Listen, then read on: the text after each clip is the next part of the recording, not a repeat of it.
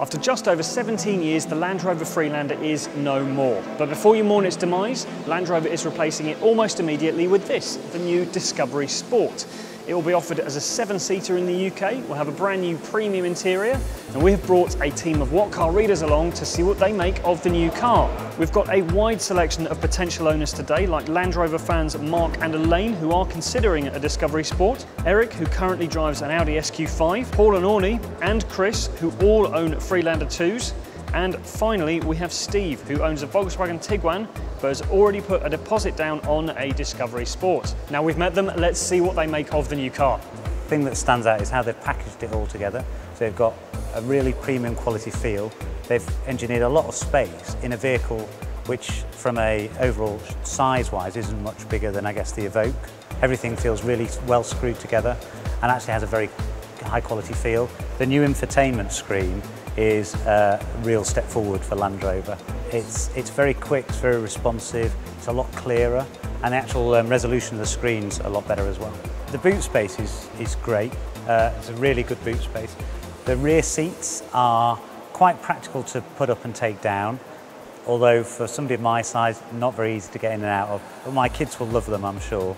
Um, the actual middle bench, the flexibility that provides you either with a bigger boot or huge leg room in that middle row with the sliding seats, be happily sit there for a 200 mile journey. I have to say I really struggled to find anything I really disliked, which is, and I've tried very hard and comparing it to my Range Rover, it's, you know, the, the feel of the um, interior is really good. I'd have to give it five out of five. Really like it. It was uh, it's just like a mini Discovery really, but it does still have a little bit of a Freelander about it from the side. So yeah, really like it. First impressions, I was worried the back window was going to be a bit small like the Evoque, but it seems to be fine.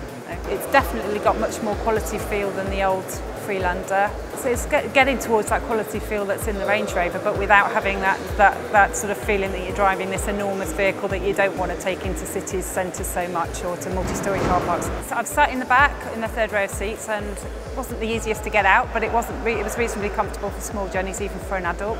Um, I think the downside is when the, when the third row's up, there's no storage at all in the back. You've got both the, both the third row, but practically good sized boot and the seats would go, fold down very, very quickly and easily. Four out of five, I think the only thing that lets it down really is that lack of storage in the, in the back row. I think they've got a good subtle balance between where the past has come from, good heritage from Land Rover, to a more modern look and feel to what we see now. The, the lowering, I think, really helps the design factor uh, and also helps the aerodynamics. But I believe also the capabilities and the ground clearance is also the, the same as it was before on, on the Freelander, which makes it a really good all-round capable vehicle. And uh, inside, there's just so much space. Um, one of the things to note was also amazing visibility.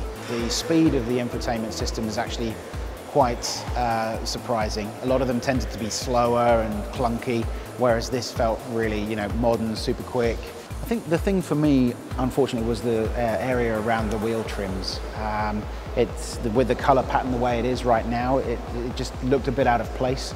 Um, but I think it's uh, an option. Once you change the colour, you'll see that blend in and it will look the bee's knees. Definitely a four out of five.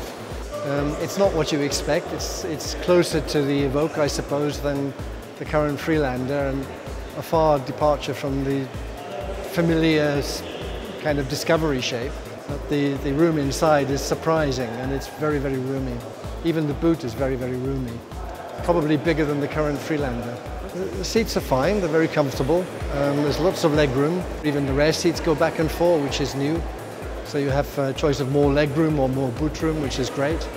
More than, more than I'm used to in the Freelander. The headroom is, is as before, more than adequate.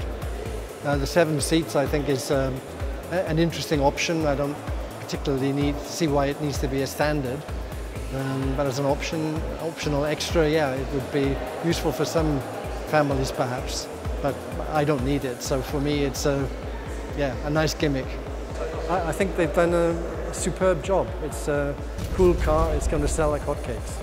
I think what is good is the flexibility, what you can do with the interior and then the panoramic roof it really gives a feeling of space and the seats are extremely comfy they are really easy to get in and out and in a position but you have to be really sort of under 12, I think, and really flexible to get in there. But, but it's really handy to have them. It was easy to adjust what you want because you could see, you could move the seat in so many different positions. It was good.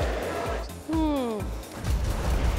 Four and a half. Uh, I was worried it was going to be something completely new and different as they changed the name, but it's not. It's still recognisably a sort of evolution from the Freelander. To see all this modern technology on here is really, really good. Exactly what it should be for a brand new car. All your sort of common controls, your typical car stuff, really easy to grab. You can get straight on there, um, and all your infotainment stuff is separated off where it should be nice and easy to get to uh, and you've even got quick access buttons down the side as well so uh, straight into the phone, the camera, the parking sensors, really really easy. It's a bit of a shame they haven't brought the digital dash in here. You kind of a premium brand, you'd expect them to be at the sort of cutting edge with those sorts of digital features, um, but it's really really high quality and it, if the low bed had been flat and you didn't have those weird little bits of plastic on the outside, it'd be five star all the way.